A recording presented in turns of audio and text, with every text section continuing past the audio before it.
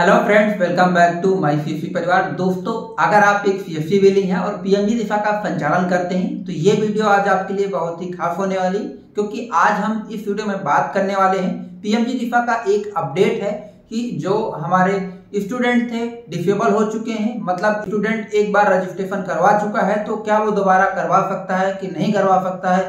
तो किस तरीके से एक बार जो रजिस्ट्रेशन हो चुके हैं, क्या उस, उन रजिस्ट्रेशनों को दूसरा बी कर पाएगा या नहीं कर पाएगा?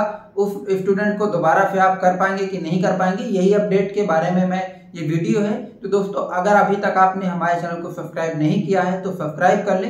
क्योंकि हमेशा मैं ऐसे ही लेटेस्ट नॉलेज लाता रहता हूँ। और मैं नीचे यहाँ पे डिस्क्रिप्शन बॉक्स में आपको टेलीग्राम लिंक दे दूँगा, हमारा वो चैनल है, वहाँ पर आप जुड़िए। तो जैसे ही कोई हम वीडियो नहीं दे पाते हैं तो वहाँ पर अपडेट पहले आ जाता है तो आप जुड़ करके वहाँ पे अपडेट पा सकते हैं। तो दोस्तों, हम आते हैं अपने वीडियो के टॉपिक पर।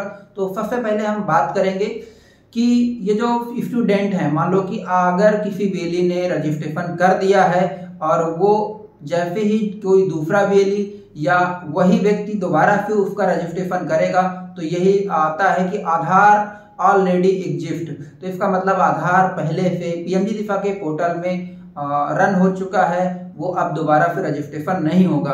तो ये प्रॉब्लम्स हमेशा आती रहती हैं वेलियों को फेस करनी पड़ती हैं। तो इसका एक अपडेट आया है कि अगर स्टूडेंट ने 31 जुलाई 2021 के पहले रजिस्ट्रेशन करवाया था और वह स्टूडेंट ने एग्ज़ाम नहीं दिया हुआ है तो उसका जो आईडी है वो डिफेबल हो गया है। मतलब स्टूडेंट डिफेबल हो गया है, उसका जो आईडी पासवर्ड था वो बेकार हो गया है। अब वह स्टूडेंट दोबारा से पीएमजी दिशा में रजिस्ट्रेशन करवा सकता है। हालाँकि उस रजिस्ट्रेशन जो हो जिस स्टूडेंट का हो चुका है उसको दूसरा वेली नहीं कर पाएगा। मतलब जिस ग्राम पंचायत से और जिस आईडी से। मतलब जिस आईडी से उसने रजिस्ट्रेशन किया था पहले उसी आईडी में दोबारा से उसको रजिस्ट्रेशन करवाना पड़ेगा। आ, जैसे मैं मेरे कोई व्यक्ति है मनोज नाम का मैंने उसका रजिस्ट्रेशन कर दिया है और वह रजिस्ट्रेशन इकतीस जुलाई 2021 के पहले का था।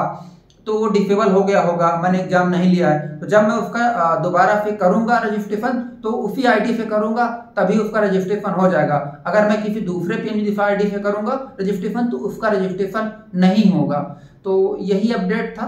तो दोबारा से अगर डिफेबल हुआ है तो आप जो भी स्टूडेंट है, वो दोबारा से उसी आईडी में अप्लाई करके अपना एग्ज़ाम दे सकते हैं। और बहुत सारे हमारे जो वेली हैं, वो अब नया टारगेट उनको मिल गया हुआ है।